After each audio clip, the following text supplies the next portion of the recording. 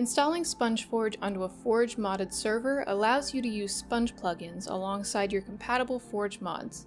It's a simple process, and there's just a few things you need to know. Assuming you've already installed all of the mods you're wanting on your server, and have made sure that they all work as intended, go ahead and check which version of Forge you have installed. That way you'll know which version of SpongeForge you need to download.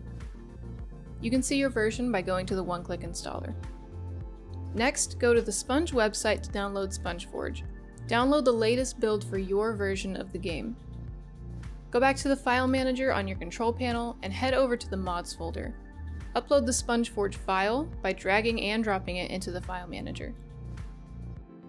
Now you can either use the plugins manager on the control panel or just upload them directly to the mods folder on the server. When using the plugins manager, change the plugin engine at the top left to Sponge to make sure you're looking at Sponge compatible plugins only. Plugins for Spigot or Bukkit won't be compatible. Click the plugin page to see which version the plugin is compatible with.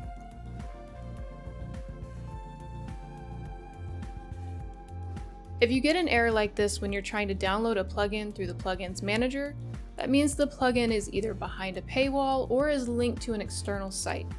If that happens, just download the plugin through whatever method is required and then upload it to the mods folder on the server. Now you can use both plugins and mods on the server.